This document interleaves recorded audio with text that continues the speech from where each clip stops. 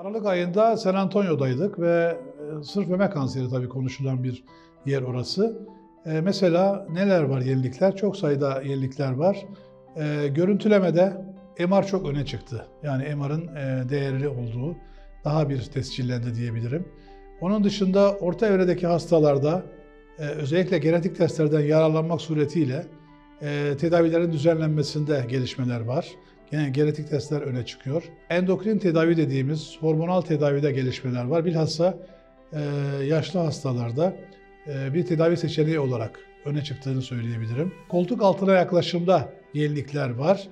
Bilhassa e, cerrahi öncesi tedavi uyguladığımız orta evreli hastalarda bazen kemoterapi, endokrin tedaviyle beraber bazen sadece endokrin tedavi uygulanıp e, onun sonucuna göre tedaviye, cerrahiye devam edebiliyoruz. E, onda da ciddi gelişmeler var.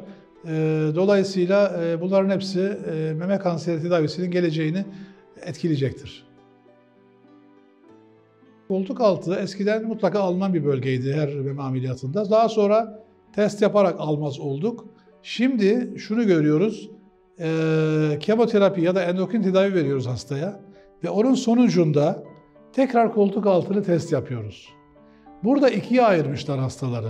Hastayı muayene ettiğimiz zaman tedavinin başlangıcında elimize koltuk altında bir sertlik geliyorsa başka bir grup, gelmiyorsa başka bir grup olarak ikiye sınıflandırılıyor ve gelip gelmemesine göre sonuçta elde edilen sonuca göre yapılan cerrahi değişebiliyor.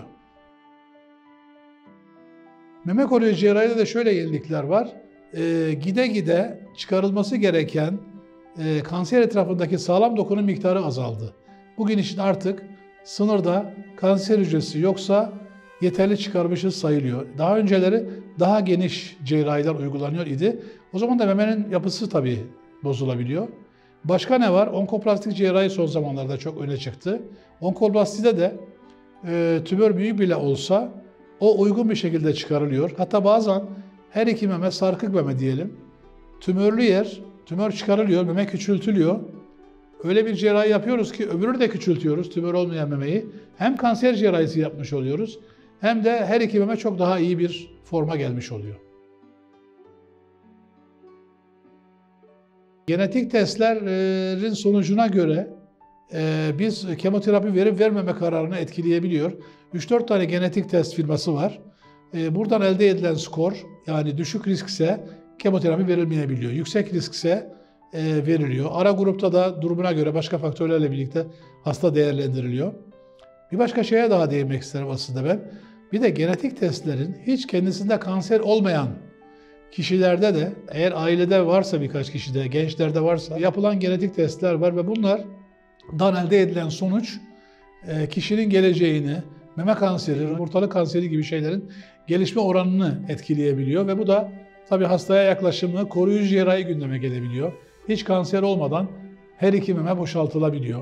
Mesela ünlü Amerikalı aktris Angelina Jolie böyle bir ameliyat geçirdi.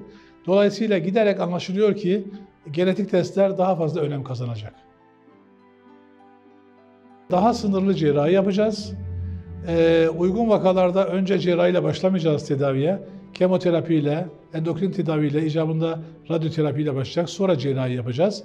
Cerrahide de mümkün olduğu kadar az dokunacağız.